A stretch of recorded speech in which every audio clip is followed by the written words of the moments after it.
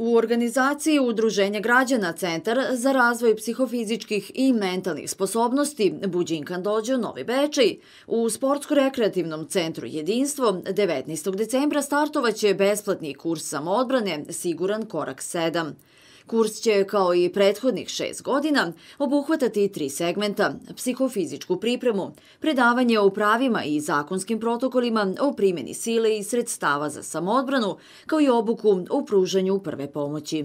Sedma godina kako ovo organizujemo, što je neki odraz, ne kažemo, i kvaliteta i rada koji pružamo do sada i trudimo se svake godine to uznapreduje i sa brojem člana koji dolazi na tu samu obuku i samodbrane i poznavanje zakona i pružnje prve pomoći.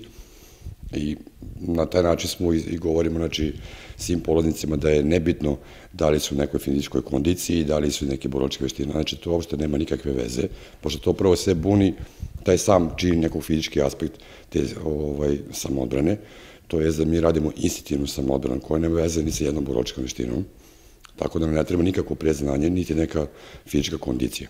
To sve radimo na treninzima, u to nekom prvom delu samog točina samodbrane.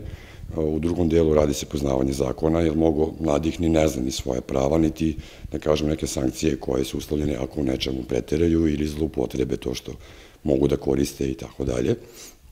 I treći deo smo zakružili time što je kurs prve pomoći, jer u da kažemo, više puta nas desi u životu da nekom pružimo prvu pomoć nego da se odbranimo od nekoga. Sve je to učestalije, posebno i ovoj starijih ljudi, velikim temperaturama u kojoj smo bili svedoci sve više idu, tako da stvarno bilo je čak i polaznik koji su prve i druge godine bili zajedno s nama na kursu, treće godine desilo se da su pomogli i nakon čak i spasili život, što nam bilo jako drago. Kurs samoodbrane namenjen je učenicima srednje škole Novi Beči, maturantima osnovnih škola sa teritorije opštine, ali i svim damama koje žele da nauče kako da se zaštite i osjećaju bezbedno.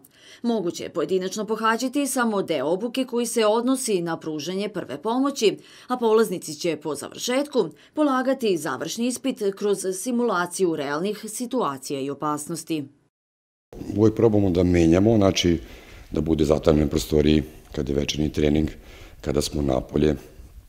Probali smo znači, da vidimo u autobus, ali gradski, ali to sad, sada još ne može, nema uslove tako nešto da organizujemo, ali ćemo vidjeti da, znači, da radimo negde napolje, neki prolazi mračni haustori u parku ili bilo gde, znači da jednostavno naša pažnja je opuštena, kad je mrak ne vidimo ništa.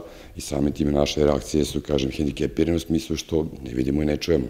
E onda u tim situacijama opet mi drugačije reagujemo jer nije svejedno kad nas neko napade u nekom mračnom okruženju, bučnom okruženju, ili više njih ili tako dalje. Znači sve moramo proći neke situacije, jer sve ono što je nama strano je to neki šok za telo, a ta sama reakcija u tih prvih jednu, dve, tri sekunde koje treba da reagujemo, moramo da se to neki način i to priviknemo.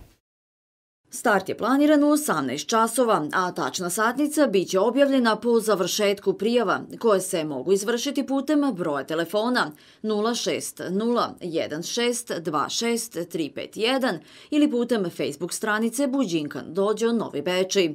Kurs će biti realizovan uz podršku lokalne samuprave, mesne zajednice Novi Bečej i brojnih sponzora.